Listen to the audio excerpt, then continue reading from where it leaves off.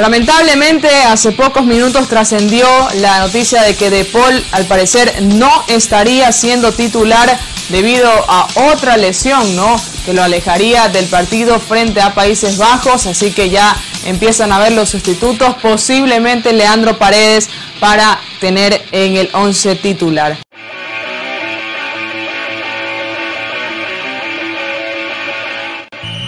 Tiempo Deportivo llegó gracias al auspicio de Amalie, para que grites miles de goles por hora.